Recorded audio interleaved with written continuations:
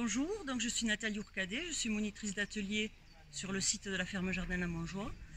Depuis un an et demi, je suis référente sur la ferme, euh, par passion, par vocation pour les animaux et, euh, et, je dirais par grande passion pour les ânes.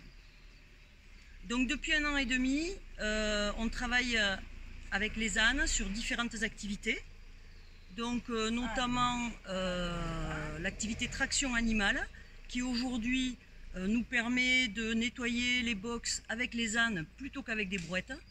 C'est quand même un côté beaucoup plus agréable.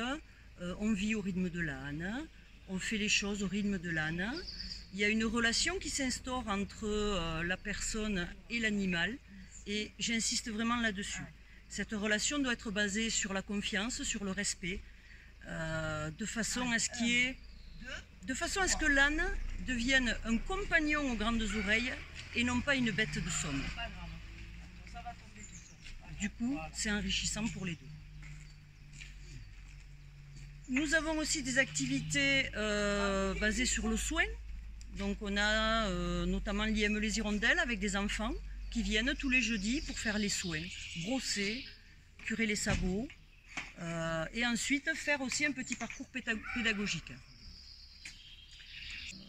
Et l'hiver, on est dans un environnement avec des arbres, les feuilles tombent. Et l'hiver, les ânes nous aident à ramasser les feuilles et à les amener aussi sur le tas de compost. Ici sur l'atelier, il y a sept personnes en situation de handicap qui travaillent avec les ânes. Combien d'ânes sur le site? Donc là, nous avons trois ânes. Ulysse, Arthur et Anoros. Ulysse et Arthur sont de vrais frères. Ils ont deux ans de différence. Et Anoros, lui, c'est l'aîné, qui est plus petit et euh, qui, lui, de par sa taille et son caractère, est un peu moins sollicité que euh, Ulysse et Arthur. Tous ceux qui travaillent auprès des ânes ont suivi une formation avec toi? Oui. Donc euh, déjà, si on reprend à la base, euh, c'est vrai que pour moi, euh, l'âne est une passion.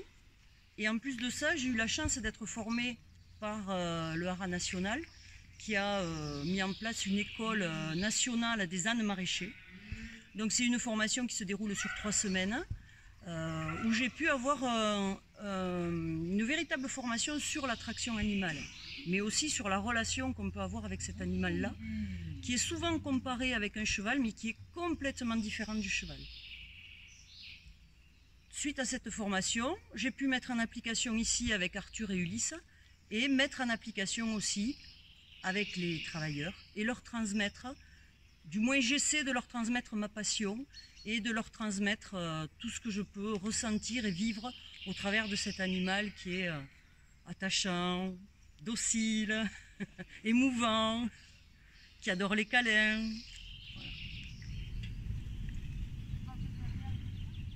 Tourne, tourne, tourne. Allez, marchez. Suive-le, Anthony. Essaie de le motiver derrière, s'il te plaît, chez Merci, Anto.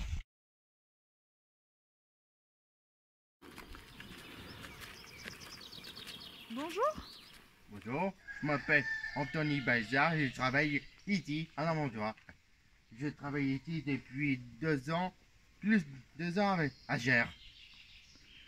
Donc ça fait quatre ans que tu travailles à l'ESAT des Trois Soleils de Bordère, de la DAPI des Hautes-Pyrénées. Mhm.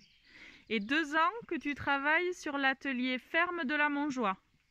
Super. Est-ce que tu peux me dire quels sont les animaux qu'il y a sur le site de la Montjoie, s'il te plaît, Anthony?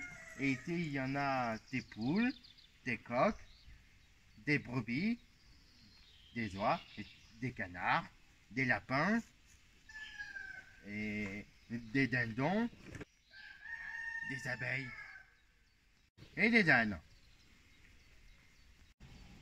Et donc toi, tu les nettoies, c'est ça?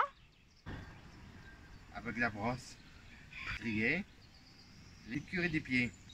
Eh bien, tout ce que j'ai fait, c'est de brosser les ânes que des couverts de salle, on les brosse.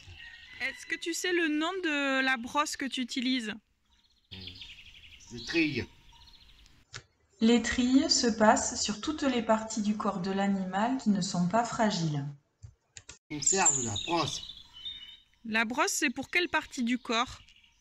La brosse se passe sur toutes les parties du corps de l'animal, dans le sens de pouce du poil et en faisant très attention aux yeux. Tout. Et pour finir, pensez les sabots avec ça. Le cure-pied sert à nettoyer et curer les sabots de l'âne. Allez, je passe derrière Ulysse et je te brosse la queue. Fais les deux côtés. À la limite, Julie, toi tu fais les trilles, Anton fera la brosse. Tu te rends compte, Anthony Tous les, Toutes les nouveautés de la Montjoie, toutes les choses où tu dis c'est la première fois et j'y arrive. C'est bon? C'est super, hein?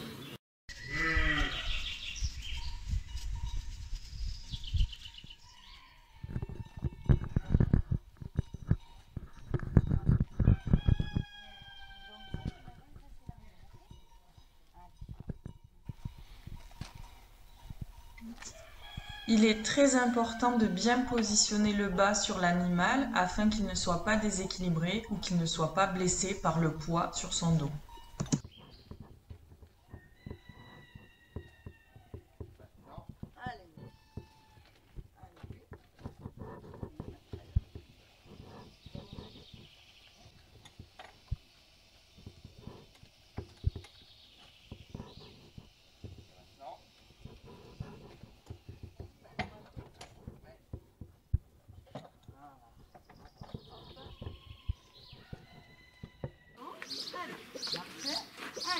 Encore. Oh L'âne comprend des mots simples. Marcher. Oh là-haut pour s'arrêter. Tourner. Marchez, Ulysse Marchez.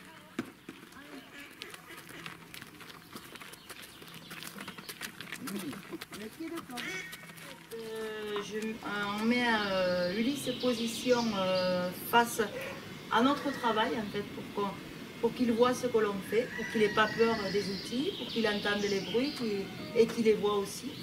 Voilà. Donc en principe, quand on fait comme ça, il y en a un qui reste à la tête de l'âne et un autre qui pèle et qui remplit les comportes euh, de part égale. Donc, on équilibre bien les comportes pour que, Ulysse justement ne soit pas déséquilibré et que le poids sur le dos d'Ulysse ne soit pas déséquilibré. En quoi c'est différent de travailler avec Ulysse, justement, cette méthode, selon toi? Mais déjà, c'est euh, déjà c'est euh, c'est soulageant pour nous, hein, physiquement, puisque la comporte, c'est une comporte, c'est c'est une brouette, l'équivalent. Et puis, euh, c'est travailler avec l'animal, c'est que du bonheur en fait. Une osmose avec lui, c'est un collègue, c'est c'est un pote, c'est un ami. euh, voilà. Et avec Anto, ben, Anto, en fait, on s'est découvert avec la médiation aussi. Et on a un, un feeling avec Anto aussi. euh, et Ulysse, tous les trois. Voilà. Et donc c'est que du plaisir. Comment ça s'appelle l'activité que tu réalises là avec l'âne Avec Ulysse, entre autres? Donc en fait, euh, c'est de la médiation animale. Voilà, et euh, c'est une technique de, de renforcement de soins aux personnes euh, perdu un lien social et qui ont perdu le verbe aussi. Qui, euh, ont des peurs, qui avaient des peurs en eux et qui, l'âne en fait, euh, je, je peux vous le dire parce que c'est ce qui m'est arrivé sur la montagne quand j'arrivais. Ils m'ont. euh, c'est magique en fait, ce qu'on vit avec eux, c'est vraiment je le trouve magique en fait. Ce lien que nous avons, c'est incroyable. Et il m'a appris à ne pas avoir peur, sur plein de choses, la confiance. Euh, J'ai un petit garçon de 5 ans. Je passe l'après-midi avec Ulysse et je rentre à la maison, je suis gonflée. Je suis gonflée et j'ai confiance en moi un peu. Et j'espère de plus en plus. Voilà.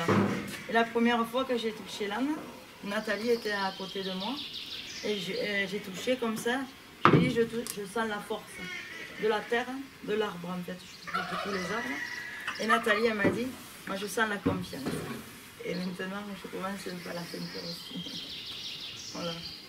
et expliquer les émotions euh, que l'on a nous, les ressentis. Eux, ils nous voient tels que nous sommes, comme ça à l'intérieur. Ils ne voient pas les personnes euh, que nous sommes physiquement. Voilà. Donc, Calme-toi.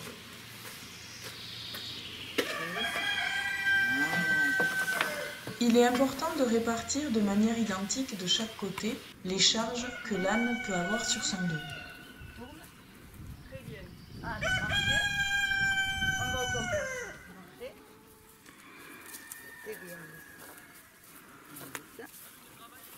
tourne.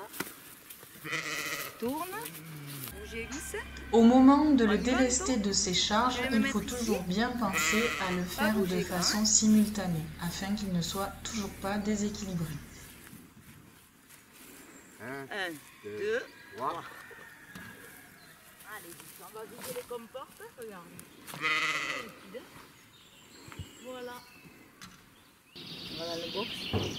Et surtout, surtout, surtout, tu décomposes. Tu décomposes tout ce que tu dois faire. Si c'est clair dans ta tête, c'est clair, dans tes mains. Si c'est clair dans tes mains, ce sera clair dans sa tête. D'accord? Un pas. Oh là. Oh, c'est bien. Un pas. Oh là. Oh. Non, on ne tourne pas encore. Un pas. Ah, c'est bien. Puis ils savent que donc c'est un, c'est comme ça, quoi. ça commence comme ça. On les sort du pré, on les met face au grillage aussi, on les, on les, on les rentre près, pareil face au grillage, c'est comme ça. C'est son repère. Voilà. Démarrage de l'activité devant le grillage, fin de l'activité devant Voilà. le grillage. Voilà. Oui. Donc on a des groupes qui viennent à peu près tous les jours sur le site, des groupes différents. Ils ont chacun la responsabilité d'un poulailler ou bien des clapiers ou bien euh, du bâtiment des canards. Et donc euh, au jour d'aujourd'hui, euh, chaque groupe nettoie les poulaillers avec une brouette. Et le projet serait que justement Anthony et, et Julie, avec Ulysse, puissent accompagner les groupes pour faire toute la partie nettoyage. Donc si je comprends bien, les personnes qui intègrent l'atelier ferme, c'est par leur choix. Et dans le cadre de leur projet, ils suivent une formation pour pouvoir être opérationnels dans tout ce qui va être tant sur la partie travail que sur des temps qui peuvent être de répit Oui. pour différentes euh, personnes qui ne seraient pas forcément sur l'atelier. C'est ça également? Oui, oui, oui, oui. Je pense notamment à, à deux personnes qui sont en atelier le vendredi matin. Et euh, donc ces deux personnes, c'est vraiment pour eux euh, un moment de détente. On va les brosser, on va les câliner, on va faire le petit parcours pédagogique. Et c'est vrai que là, euh, c'est un moment de détente, d'ouverture. On n'est plus du tout dans le travail proprement dit. On est vraiment dans la dimension de la médiation animale.